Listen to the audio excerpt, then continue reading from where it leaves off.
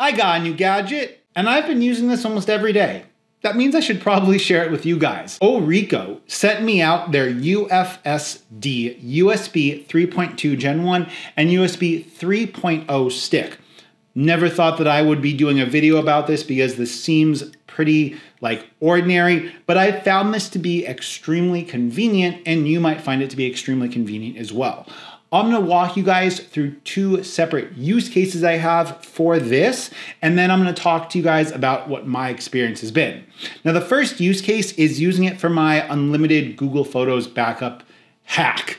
If you guys are wondering how that is, I have a very old tablet. It's no longer supported via firmware updates and it's rooted. It's got a custom ROM, got an unlocked bootloader, and I have a spoof patch, whatever you want to call it in, which allows me to take advantage of the Google Pixel 1 unlimited full resolution backup. So I plug this into my uh, into my phone.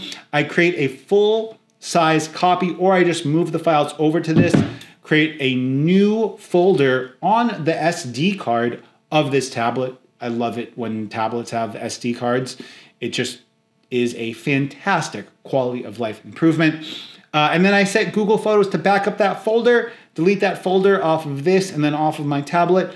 Bada bing, bada boom. Free, unlimited Google storage backup. It's great.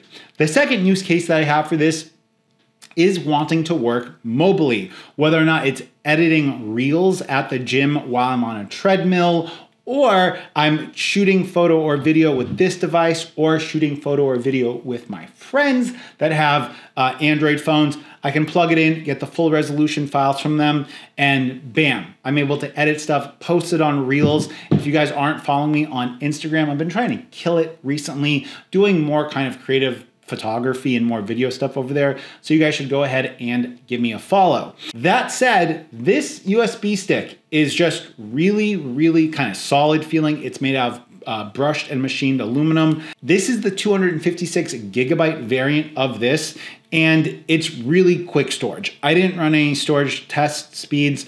There's people that would be more qualified to do this. What I can tell you is that I have edited stuff in Adobe Premiere off this stick, which means that the read and write speeds for it are obviously really, really fast. Um, and obviously, it is fast enough for video editing as I'm using this as the disk that I'm editing off of. Sorry about that. I've got Google Nest doorbells. Got a video about that coming up pretty soon, I promise. Notifications. But I wanted to share this USB stick with you guys. I think that this is pretty cool. I think that it's pretty versatile. Uh, I like how well it's made. I like the aluminum on it. It gets kind of warm in use, but that's only to be expected when you're reading and writing a lot of data really quick. If you guys want to pick one of these up, I'll have a link to it in the description down below where you guys can pick one up. And thanks to Orico for sending this out to me. They got some other stuff on the way, and I'm really looking forward to doing more computer accessory videos for you guys.